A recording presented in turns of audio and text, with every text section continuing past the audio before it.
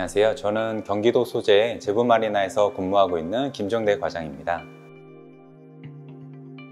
마리나 선박이 출입 및 보관, 사람의 승하선 등을 위한 시설과 이를 이용하는 자에게 편의를 제공하기 위한 시설로 이곳을 마리나라고 하고 있는데요.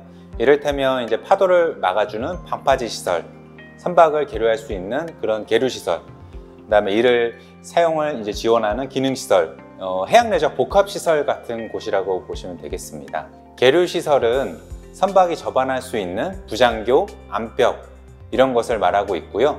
부두는 이런 계류시설을 포함해서 하역시설, 관리건물, 야적장, 여객터미널 등 이런 것을 포함되는 어, 항만에서 쓰이는 용어라고 보실 수 있습니다. 해양수산부 2차 마리나 항만 기본계획에 따르면 채공 준공된 제부 마리나를 포함해서 38곳의 마리나가 운영 중에 있고요. 총 2,700여 척의 선박을 계류할 수 있는 시설들을 갖추고 있습니다. 이 중에서 69%인 해상이 차지하고 있고요. 1860, 1862선석, 육상이 31%인 844선석을 차지하고 있습니다. 이 중에서 수도권이 40%를 차지하고 있는데요. 아무래도 배우 수요가 풍부한 수도권하고 부울경 이런 쪽에 좀 몰려 있고 또한 접근성이 편리한 강원도 쪽에도 규모가 상대적으로 크게 조성되어 있습니다.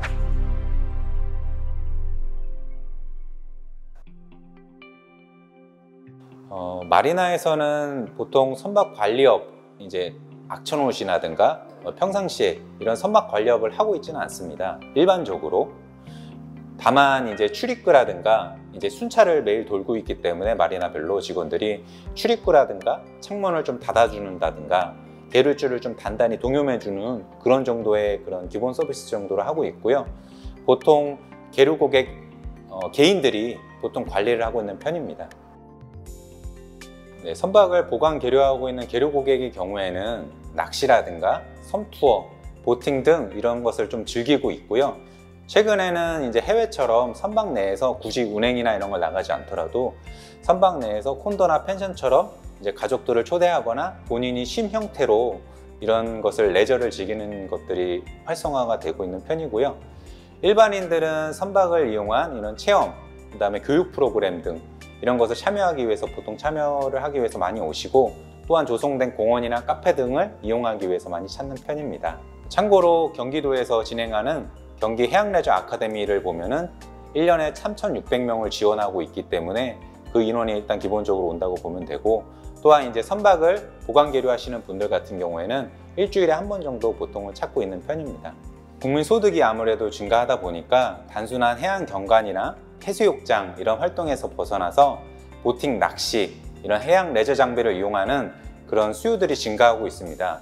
또한 어, 영화라든가 해외에서 보던 이국적인 장면들을 보러 사람들이 많이 찾아오고 있습니다.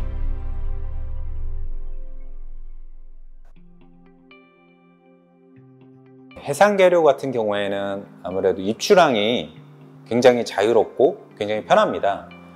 다만 이제 해상에 있다 보니까 침수 위험이 있고 이제 하부에 수중 동식물들이 부착을 할 수가 있기 때문에 그런 방호도로 작업을 좀 해서 추가적으로 작업을 해서 그런 동식물들이 부착을 방지하는 작업들을 하고 있고 아무래도 수상에 있다 보니까 좀 관리비도 더 들고 계류비도 더 들다는 그런 단점이 있습니다. 다만 이제 아, 이와 반대로 육상 계류 같은 경우에는 하부 표면에 이제 수중 동식물들이 낄 일이 없기 때문에 뭐 하부 페인트를 칠할 일도 없고요. 또한 계류비도 좀 싼 그런 장점이 있고요. 그와 반대로 편한 수상의 세상 계류에서 편한 그런 작업들이 굉장히 불편함으로 다가오실 수 있겠습니다. 예를 들자면은 육상에 올려놨기 때문에 개인의 차량이라든가 별도의 장비를 이용해서 수중으로 해상으로 런칭을 해야 되기 때문에 어, 이런 비용이라든가 본인 차량에 대해서 그런 견인 장치라든가 이런 별도의 장치를 설치를 하셔야 됩니다. 선박 같은 경우에 25피트가 넘어가면 2톤이 넘어가고 뭐 30피트가 넘어가면 아무래도 3톤이 넘어가기 좀 일반적이기 때문에 어 이제 견인하기가 굉장히 불편하기도 하고 안전상 위험도 따릅니다. 그래서 25피트 정도 되는 급은 이제 육상계를 두시는 게 아무래도 어 좀 불편하지만 이제 런칭하고 이런 것들이 굉장히 불편하지만 계류비라든가 관리 차원에서 좀 수월할 수 있겠고요. 그 이상 되는 뭐 30피트 이상급 되는 것들은 수상에 놓으셔야 아무래도 런칭하는 그런 부담감, 위험 부담도 없고 계류비도 좀 저감할, 어, 계류비도 아낄 수 있겠습니다. 마리나는 마리나 항만법을 따르고 있는데요. 마리나 항만법에 따르면 마리나 선박이 계류할 수 있습니다. 마리나 선박에는 모터보트, 고무보트, 요트, 윈드서핑 등 이런 것들이 이제 포함된 사항이고 다만 각 마리나별로 규정을 좀 정하고 있어서 보통 수상레저 안전법에 따른 어, 모터보트 혹은 요트 이런 것들만 계류 가능하게끔 음, 한다든지 그런 단서들이 있습니다. 어, 관리 주체에 따라서 조례하고 관리 규정을 통해서 이용 요금을 정하고 있는데요. 장기간으로 이제 계약하게 되면은 보통 할인을 해줍니다. 제가 근무하고 있는 제부마리나의 경우에는 6개월 이상 계약을 하시게 되면은 10% 할인을 해드리고 있습니다. 우리나라에서는 사계절이 있기 때문에 아무래도 성수기, 비수기가 존재를 합니다. 이제 리조트나 이런 데 보면은 이제 할인 이제 요금 차등을 둔다든가 할인을 두고 있는데 마리나에서는 아직까지 그런 요금을 적용하고 있는 곳은 없고 보통 이제 마리나에서는 계류 요금을 투자비, 추진 사업, 운영비 등 원가 계산비를 포함한 것과 주변 마리나 시세도 좀 참고를 하고 있고 또는 이제 공공이냐 민간이냐 이런 거에 따라서 요금들이 굉장히 다릅니다. 다양하고요. 그래서 예를 들어서 여수 쪽에 있는 공공마리나 같은 경우에는 35피트 기준으로 월 25만 6천 원 정도가 부과되고 있고 수도권에 있는 민간 마리나 같은 경우에는 월 한 80만 원 정도 계류비를 받고 있습니다. 그리고 해상하고 육상에 따라서 요금, 계류 요금이 차이가 나는데요. 아무래도 해상 같은 경우에는 준공도 해야 되고 계류 시설 조성도 해야 되기 때문에 아무래도 좀 비용이 많이 발생이 됩니다. 그래서 제가 근무하는 제부마리나 같은 경우에는 36피트 기준으로 월에 수상은 58만 3천 원, 육상은 38만 5천 원으로 한 1.5배 정도 차이가 납니다.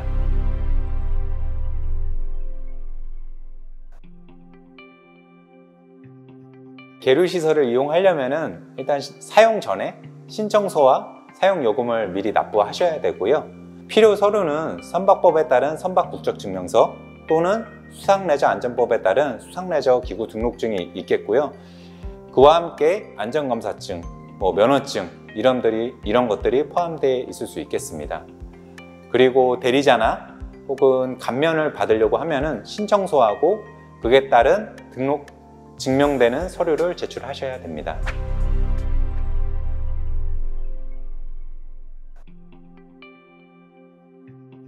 마리나에서는 피해나 사고 발생 시 책임이 이제 시설물 관리 부주의 혹은 시설로 인해서 생긴 피해에 대해서는 아무래도 마리나가 책임을 지고 있는 편이 맞습니다. 네, 아무래도 그런 건 좀 자세히 좀 따져보긴 해야 되겠지만 그 외에 사용자 또는 제3자 및 과실, 천재지변, 자연재해 등에 대해서는 책임을 지지 않고 있습니다. 그래서 마리나에서는 기상 악화나 특별한 상황 시에 이제 사전 문자를 통해서 고객에게 안내 고지를 하고 있고 안전 점검들을 수시로 진행하고 있습니다. 그래서 선주는 이와 별도로 이제 계류줄을 단단히 매놓는다, 매놓는다든가 그런 악세사리 비밀 같은 경우를 잘 관리하셔서 피해가 없도록 개인들이 아무래도 필수적으로 조치를 취하셔야 됩니다. 마리나에서는 이제 법적으로 책임보험을 가입하게 돼 있는데요. 자동차와 좀 비슷하다고 보시면 되고요. 이와 별도로 이 시설물에 대한 보험도 가입을 하고 있습니다. 선박을 보관하게 되면 아무래도 수리하는 일들이 생기기도 하는데요. 하부 작업에 같은 경우에는 아무래도 먼지나 분진 이런 것들이 많이 날리는 작업들이기 때문에 대기 환경 보존법에 좀 영향을 받습니다. 그래서 그에 따라서 여가 집진 시설들이 갖춰진 그런 적합한 시설에서 이제 수리를 하셔야 되고요. 이런 것들을 적용받지 않는 그런 수리 작업, 뭐 터치 자, 터치업 작업이라든가 혹은 엔진 작업이라든가 이런 것들은 이제 밑에 뭐 어, 천막을 깐다든가 밑에 이제 오일이나 이런 것이 침범받지 않는 그런 것들을 적절한 조치를 하고 작업을 하셔야 됩니다. 마리나다 보니까 마리나 항만법에 따르고 있는데요. 마리나 항만법에 따르면은 무단으로 점유하는 행위에 대해서 제거 명령을 할 수가 있고 이 이행 기간이 1개월이 지났을 경우에는 재고 조치를 할 수가 있습니다. 그리고 공공마리나에 같은 경우에는 공유재산법에 따라서 변상금을 청구할 수가 있는데요. 이 요금이 120% 정도 보신다고 보시면 될 것 같습니다. 개인 간의 양도는 일단 불법입니다. 그래서 예전에는 이제 계류 선석이라든가 선박을 같이 판매하는 경우들이 종종 있었습니다.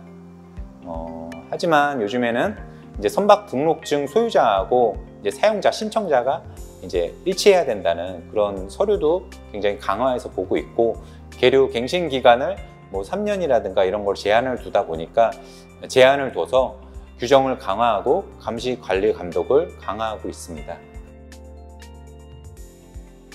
마리나의 경우에는 이제 조성비가 이제 수십억에서 수천억이 들어가는 그런 대규모의 공사 시설로서 아무래도 어, 공공이나 대기업 소유가 대부분입니다. 그래서 아무래도 좀 부도 위험이 적고 그런 사례가 아직까지는 없었습니다.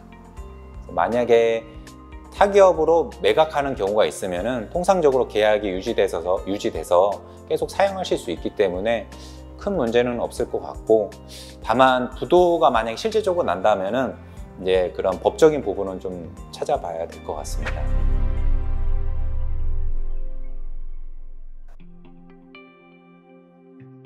육상계류 효율하고 고객 만족도를 좀 높이기 위해서는 어, dry storage가 좀 필요한데요. 예, 이제 dry stack이라고도 하는데요. 이제 보통 3, 4층에 이제 건물을 세워놓고 거기에다가 창고형 매장처럼 선박을 차곡차곡 이렇게 쌓아놓는 형태라고 보실 수가 있는데요. 작은 공간을 좀 활용하기가 좋고 마리나 지게차를 이용해서 마리나 직원들이 직접 이제 런칭을 해서 내려주고 올린 다음에 세척까지 해주는 그런 작업가 진행되고 있기 때문에 사용자가 굉장히 편하고 좀 편리하게 사용하실 수 있는 시설입니다. 국내 마리나에서는 아직까지 육상계를 대한 수요가 좀 낮고 마리나에 대한 시설 투자가 좀 좀처럼 이루어지지 않고 있습니다. 이제 마리나가 성공 사례를 아직까지는 찾기 힘들다 보니까 그런 시설 투자가 좀처럼 이루어지지 않고 있습니다. 그래서 향후 이제 육상계를 수요가 좀 증가하거나 이를 감안해서 마리나가 좀 신축으로 생기게 된, 다면 좀 기대해 볼 수 있을 것 같습니다.